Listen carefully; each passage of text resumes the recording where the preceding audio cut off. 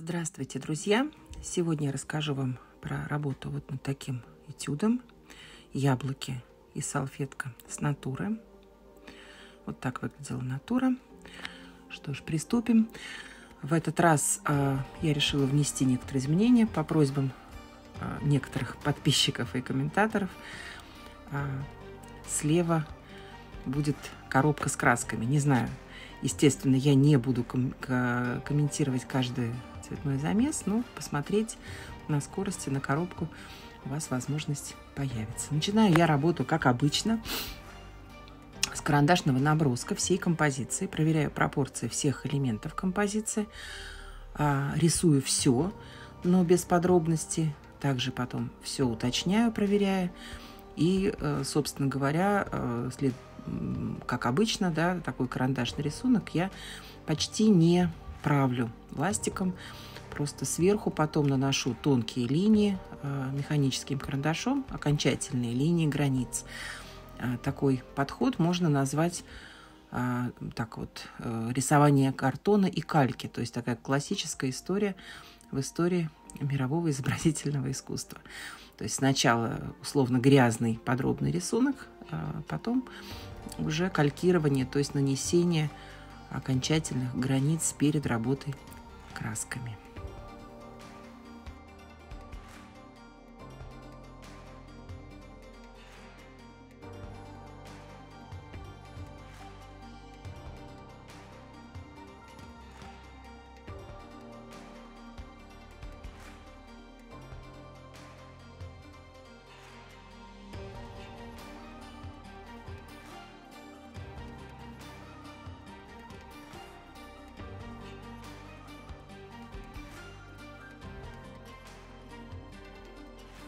Ну вот, а, линейный рисунок подошел к концу.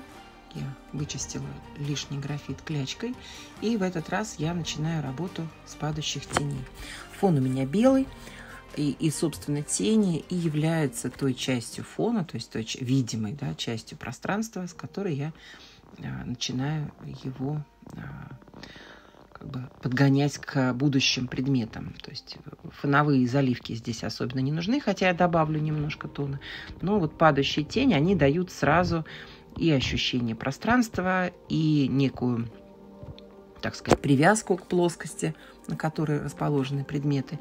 Все падающие тени, конечно, я сразу трактую а, с цветными рефлексами и обязательно в тональном и колористическом развитии. То есть тень – это не предмет, как мы знаем, она, падающая тень, она находится так же, как любое природное явление, в, тональном колористическом развитии. То есть она подвижна и, соответственно, имеет разный тон и цвет в зависимости от того, где она расположена. Ну, вот та самая под, под, э, пропись небольшая белого фона, слегка и таким кобальтовым оттенком.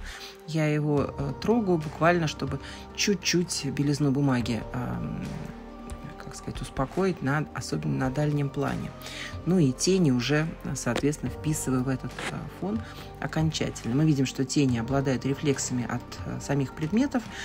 Вот, собственно говоря, вот про предметы и рассказ. Сначала я пишу такую четвертинку желтого яблока, а, Собственно, только потому я его делаю до конца, что я боялась, что яблоко к концу этюда сильно потемнеет и на фотографии будет большая разница. Но э, я его сбрызнула предварительно лимоном, и, в общем, как ни странно, оно практически не изменилось в цвете до самого конца работы.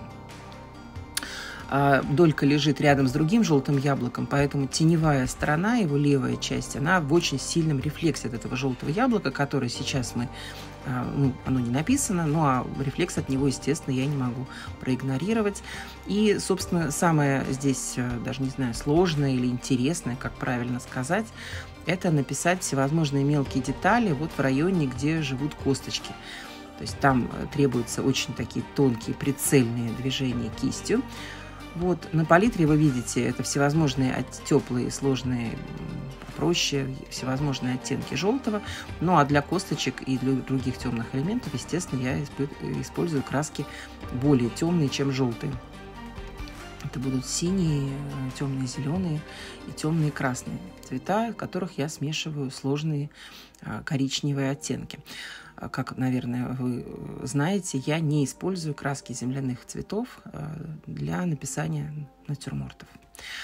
Вот, поэтому вы видите на то, что вы видите вот на палитре как бы коричневатые оттенки, это усложненные желтые, усложненные оранжевые, то есть простые цвета, просто ну, по принципу э, достаточно простым, э, известным мне и моим ученикам, я э, цвета усложняю в палитре для того, чтобы именно написать вот разницу между освещенными простыми цветами на свету и более сложными в тенях.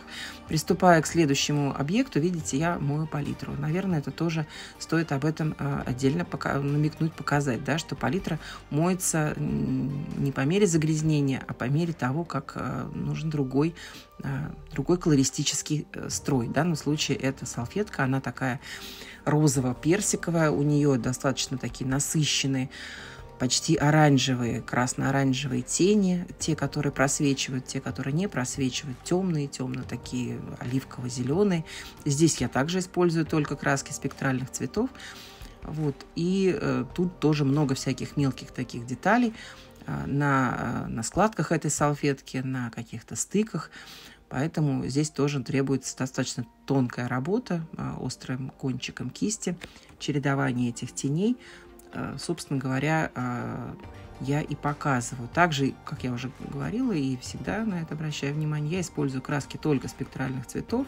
Здесь в идут разные оранжевые, красно-оранжевые, с примесями зеленых. Вот, и, э, собственно, мне остается только пронаблюдать а, за движением а, цветного тона, Э, салфетки в тени. То есть тень от яблока, получается, я сейчас пишу, она есть, сал, есть салфетка, это ее, ее, собственно говоря, тени. Само яблоко будет э, сделано на следующем этапе.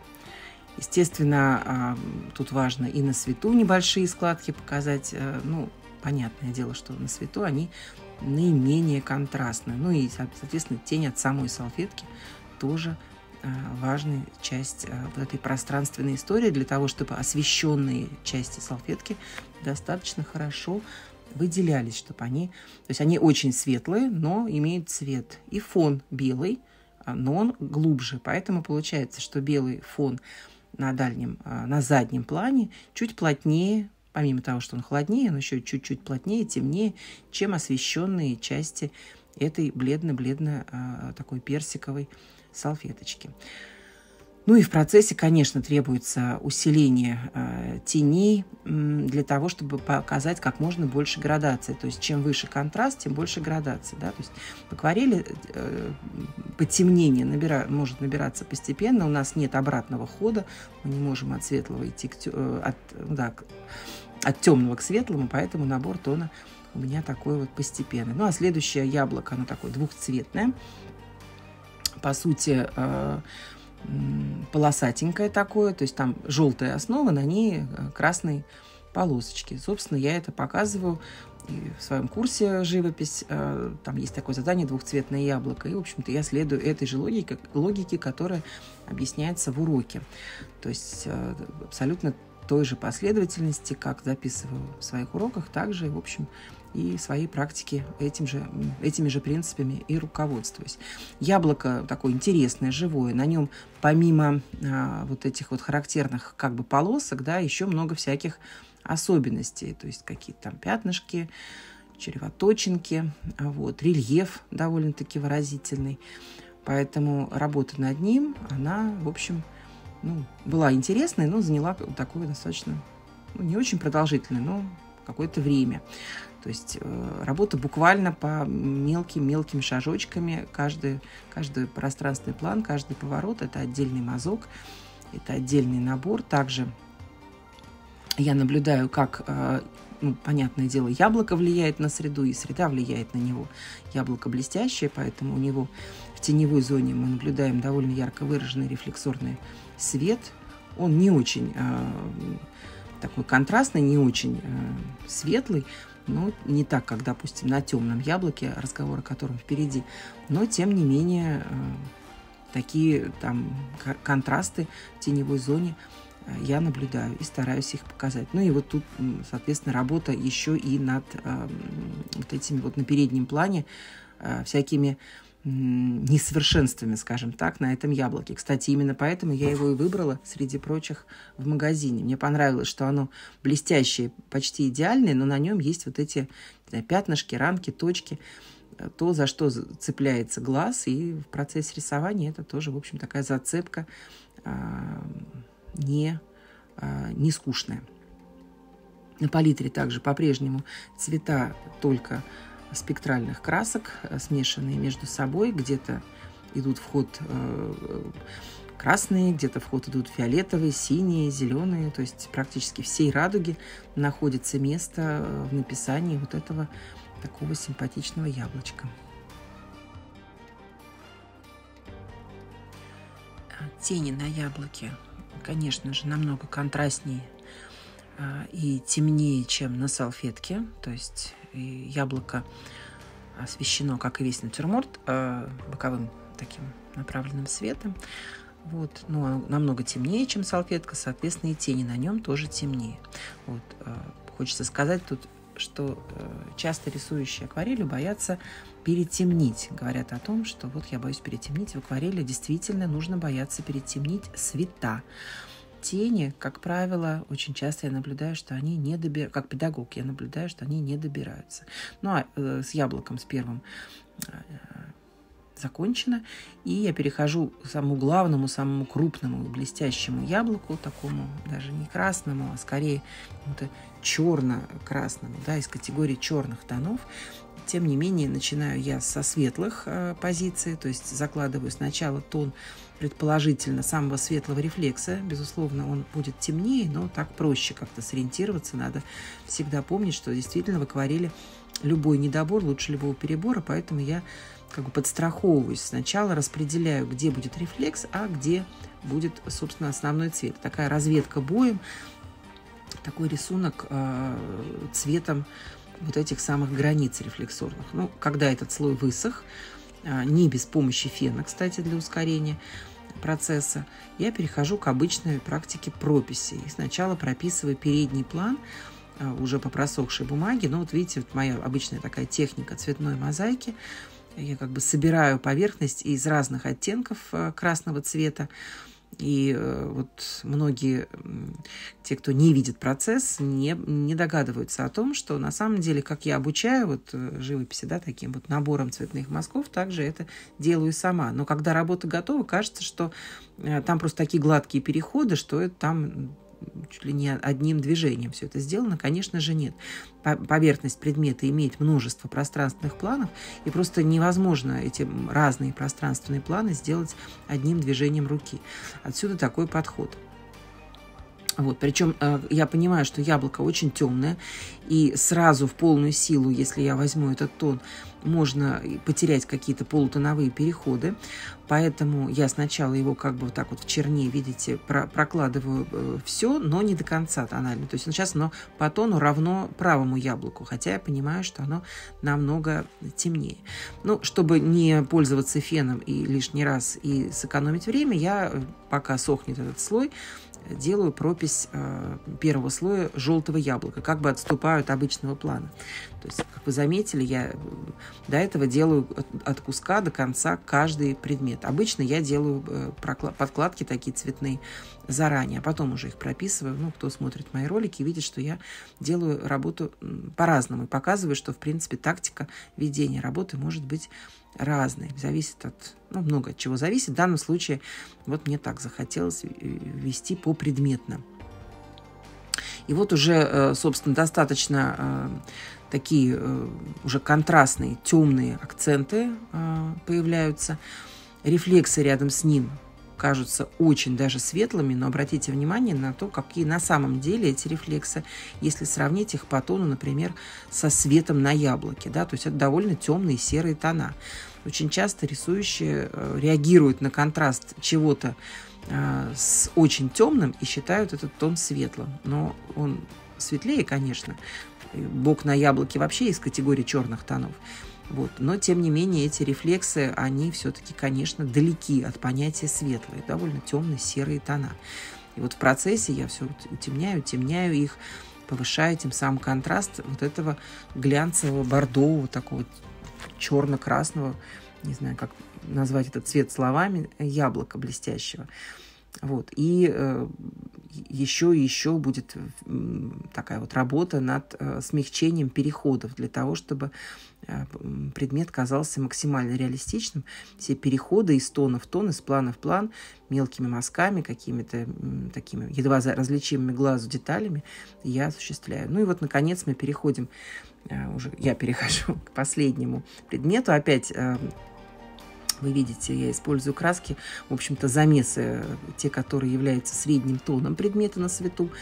Ну, яблоко желтое, но, естественно, желтый цвет меняется как в сторону зеленоватых, так и в сторону оранжевых оттенков. То есть э, освещенная поверхность желтого яблока, э, она достаточно плотная, то есть она плотнее, чем срез на яблоке или там салфетка, хотя это очень светлый цвет желтый, да, это следующий после белого цвет в спектре. Под рефлекс я заранее сначала закладываю погашенный желтый цвет. То есть э, он по тону мало чем отличается от желтого, но э, он его как бы сложнее, да, тут погашенный цвет. Но, естественно, это промежуточный этап, чтобы э, сверху утемнить тень, а рефлексорный тон оставить где нужно, и вообще, чтобы поверхность теневая не смотрелась слишком тяжелой. Вот.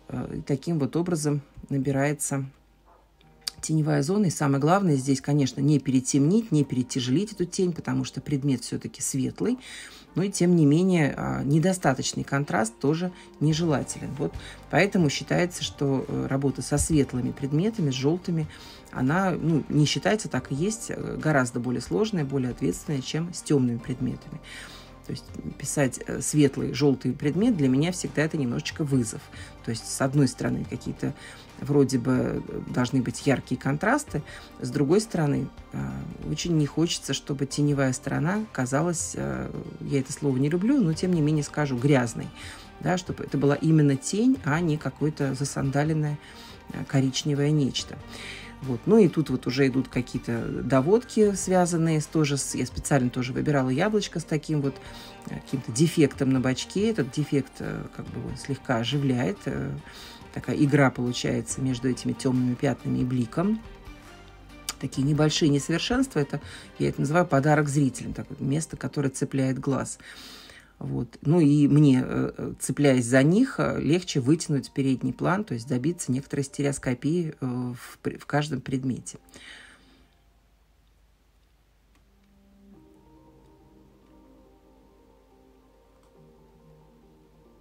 Ну вот, собственно, уже такие завершающие мазки. В ролик не попало написание маленьких косточек справа от дольки. Вот, но, тем не менее, вот так выглядит готовый этюд. Надеюсь, вам было интересно, полезно. Ставьте лайки, пишите комментарии. Всего доброго.